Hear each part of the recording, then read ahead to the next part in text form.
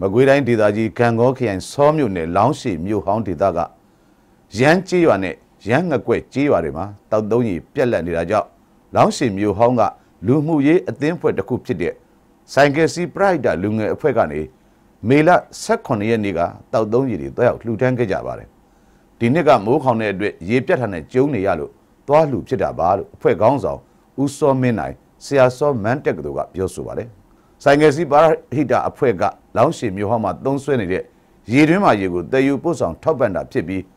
တခြားရေရှားတဲ့ဒေသအတွင်းကကြေးရွာတွေကိုလည်းရေလှူဒန်းမှုရှိနေပါသေးတယ်စေတနာရှင်တွေအနေနဲ့စောမြို့နယ်အတွင်းကရေခက်ခဲဖြစ်နေတဲ့ကြေးရွာတွေကိုရေလှူဒန်းလိုတယ်ဆိုလို့ရှိရင်ဆိုင်ငယ်စီပရိုက်တာအဖွဲ့ခေါင်းဆောင်ဦးစောမင်းနိုင်တယ်လီဖုန်းနံပါတ်39